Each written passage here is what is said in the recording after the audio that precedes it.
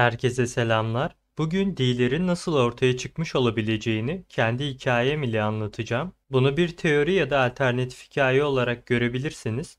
Hikayeyi deniz şeytanının yenilmesinden sonrasını anlatacağım. Videonun konusu bundan sonrası olduğu için hazırsanız başlayalım. Deniz şeytanını antik silahların yardımı ile yendikten sonra büyük aileler dünyanın kaderiyle ilgili konuşmaya başlar.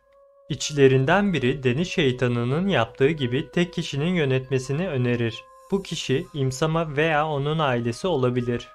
Doğal olarak her aile kendisini hak iddia edecek olduğu için bu fikre pek sıcak bakılmaz.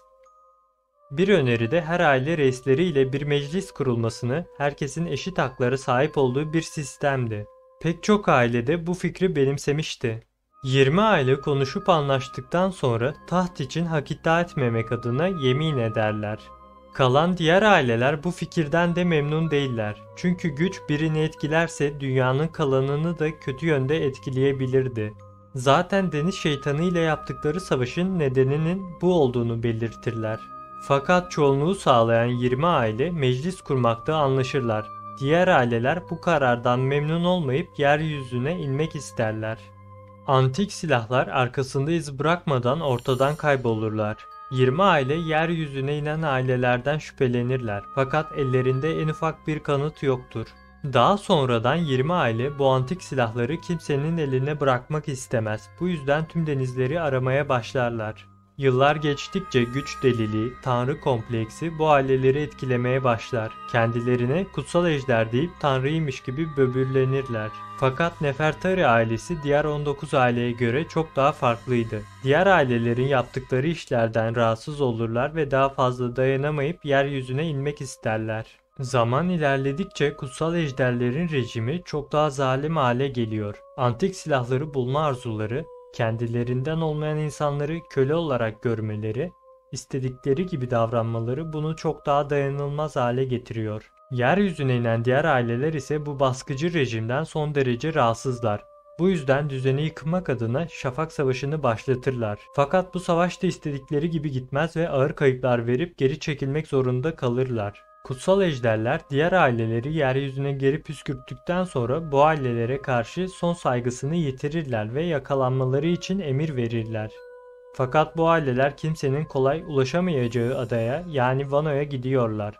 Burada pek çok ırkın lideriyle bir araya gelerek dünyaya gerçekleri göstermek ve intikamlarını almak için yemin edip kurtuluş için yol arıyorlar.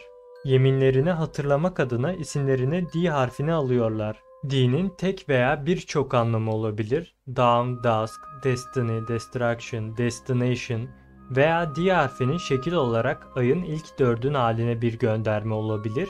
Yeniden doğma, yeni başlangıç gibi pek çok şekilde yorumlayabiliriz. Sanki gerçeklerden habersiz karanlığa boğulmuş dünyaya, ay ışığı gibi karanlığa fener tutmak istiyormuş gibi bir anlatı var. En azından ben böyle yorumluyorum. Diler tek yolun antik silahlar olduğunu tekrardan düşünüyor ve aramaya başlıyorlar. Zaman akıp geçerken aile liderleri ya yaşlılıktan ya da dünya hükümetinin saldırıları sonucu ölüyor. Nesiller gelip geçtikçe de edilen yemini unutmamak adına tarihi, dinin anlamını, antik silahları poneglif dediğimiz taşlara yazıyorlar. Tabii ki kutsal ejderler de bu yazıtları yok edemedikleri ve ileride sıkıntı çıkmaması için bu yazıtların araştırılmasını yasaklıyorlar. Belki de unutulursa tehdidin ortadan kalkacağını düşünüyor olabilirler. Kutsal ejderler de tabii ki bu antik silahları kendileri için hala aramaya devam ediyorlar. Hatta Gatvale olayında kutsal ejderlerin adada olma sebebi antik silahlardan biri olabilir Mesela seride görmediğimiz Uranüs olabilir. Uranüs'ün ejderha borusu olabileceği de söyleniyor veya sadece havayı kontrol edebilen bir borudur. Deniz canlılarını kontrol eden Poseidon, denizdeki en yıkıcı gemi Plüton ve Uranüs. Bu üç silah bir araya gelerek denizdeki en yıkıcı gücü ortaya çıkartıyor. Bir korsan için en büyük silahlardan biri de tabii ki rüzgardır. Rüzgar ne kadar sizin tarafınızda eserse o kadar güçlü, hızlı ve çevik olursunuz. Bu yüzden Uranüs mitolojideki anlatımı, konuşulan teoriler ve bu anlattıklarımla beraber hava kontrolünü sağladığını düşünüyorum. Hala gösterilmemiş olması da çok garip. Belki de en başından beri gözümüzün önündedir fakat biz fark etmemişizdir. O da bu tarz bir troll hareket yaparsa şaşırmam açıkçası. Uranüs'e de küçük bir değinmek istedim. Umarım beğenmişsinizdir. Bu dilleri nasıl ortaya çıkmış olabileceğiyle ilgili özet bir hikayeydi. Eğer hikayeyi tam okumak isterseniz linki açıklamalar kısmına bırakırım. Konu hakkındaki görüşlerinizi ve düşüncelerinizi merak ediyorum. Yorumlarda beklerim. Destekleriniz için çok teşekkür ediyorum. Bir sonraki videolarda görüşmek üzere. Hoşçakalın. Al.